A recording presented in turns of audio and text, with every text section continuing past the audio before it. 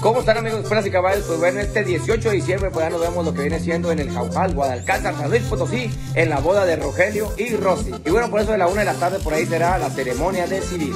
Y a las 2 de la tarde, ahora sí esa rica comida de rancho, donde amenizarán los cazadores del norte de Lázaro Cárdenas de Tula, Tamaulipas.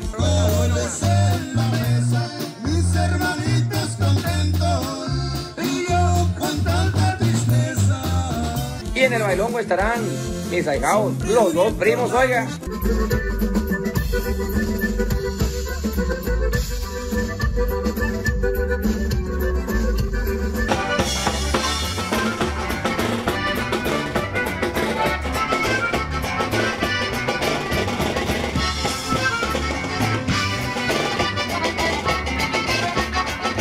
Por ahí invita a la familia Velázquez Vega. Nos vemos grabando esta bonita fiesta. Ahora sí, esta bonita boda más bien. Ahora sí que de Rogelio y Rosy este 18 de diciembre en el Caujal, Alcázar, San Luis Potosí. Dios los bendiga mucho y arremos los